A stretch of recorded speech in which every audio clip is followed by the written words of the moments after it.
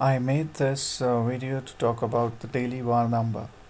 Now most of the times when we have a stock and we are playing an intraday strategy, we do not have a way to quantify how risky our strategy would be and what are the VAR numbers for uh, different stocks that we want to play with. Uh, to find that out, I am pulling the implied volatility for uh, for the stocks that uh, median average uh, consensus price and finding the normal uh, VAR. So like for example here I am pulling Google's uh, current price which is 734.32 the annual estimate which is the price after one year. I'm also pulling the uh, the daily volatility uh, which is the weighted average volatility and and then I'm uh, taking also the consensus return converting them into daily numbers uh, finding out what the price would uh, look like at the end of the day as per consensus estimate.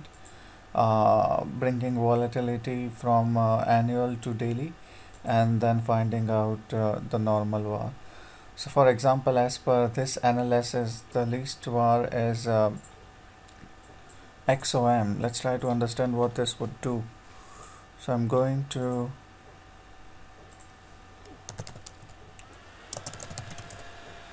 Yahoo Finance. I'm going to search for this thing. And one of the reason why this has less VAR might be because the volatilities are very low. Let's double check.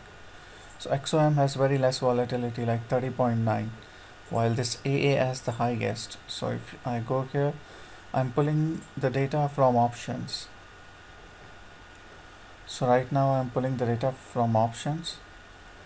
And if you see here the heavier calls because I'm taking a weighted average of volatility like this is just 6.25 the most traded option. Which is the most traded option here? The most traded option here is this one the biggest it's 3.13 which means that uh, buying uh, an option on uh, Exxon Mobil is quite cheaper and I'm pulling the consensus return. So let's see what the consensus return looks like. So current price is 87 and the consensus uh, median is low. So they believe that the prices are going to come down after one year. They they think uh, they are uh, the prices uh, is overvalued. So the consensus return here on Exxon Mobil is uh, 85.5 uh, this is 85.9 uh, and which means that the annual return is very less so uh, going to the upside is less and um, the volatility is the lowest. Let's check this AA to understand the same idea.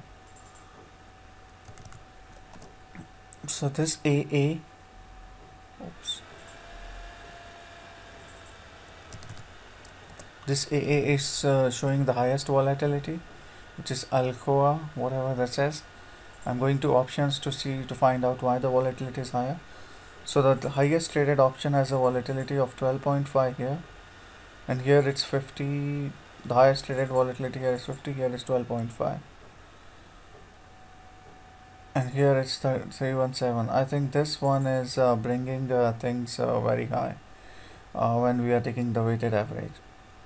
So this might uh, bring the volatility up and that's why the volatility is very high and when we have these numbers we can calculate uh, by normal distribution a 99 um, 99% VAR which would uh, uh, which would help us to find out which of them is the most risky. So as per this estimate Google is the least risky and this A is the highest risky. The second highest risky is uh, BA because it has got a very high volatility. Um, um, and uh, on the upside they say that it can go to 142 so this is a daily VAR calculation sheet. Now I'm I have recycled this sheet from an already available sheet um, that brings value all the time. And I have created a scraper which would uh, pull all the values. So this scraper would pull all the values and put it here. And this is uh, the final uh, numbers that we will have